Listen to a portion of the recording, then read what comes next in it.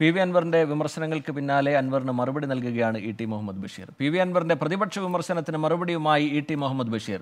നിയമസഭയിലെത്തുക എന്നത് M L എയുടെ ജോലിയാണ്. അത് ചൂണ്ടിക്കാണിക്കുമ്പോൾ പ്രതിപക്ഷത്തെ ആക്ഷേപിക്കുകയല്ല വേണ്ടതെന്നും ഇ ടി മുഹമ്മദ് ബഷീർ പറഞ്ഞു. സ്കൂളിൽ പഠിക്കുന്ന ഒരു കുട്ടി അവനെ സ്കൂൾ ചേർത്തിക്കാൻ സ്കൂളിൽ പോകാതിരിക്കുന്നത് തന്നെ നമ്മൾ കാണുന്ന സംഗതിയല്ലേ? അപ്പോൾ ഒരു എം എൽ എയുടെ പ്രധാനമായ ജോലിയാണ് കൃത്യമായിട്ട് അസംബ്ലിയിൽ ഹാജരാവുക. മണ്ഡലത്തിൽ പോവുക ഇത്യാദി കാര്യങ്ങൾ അത് ചെയ്യാത്തതിന്റെ ഫലമായിട്ട് ആക്ഷേപങ്ങൾ ഉയർന്നു വന്നു. അത് ഞങ്ങൾ ഉണ്ടാക്കിയതല്ല ആക്ഷേപങ്ങൾ ഉയർന്നു വന്നത് ശരിയാണ്. ആ ആക്ഷേപങ്ങൾക്ക് എന്താണ് തിരുത്തൽ ചെയ്യാൻ പോകുന്നതെന്ന് പറയുന്നതിന് പകരം ആക്ഷേപങ്ങൾ ഉന്നയിക്കുന്ന ആളുകളെ വിമർശിക്കുക എന്ന് പറയുന്നത് തെറ്റായ നടപടിയാണ്.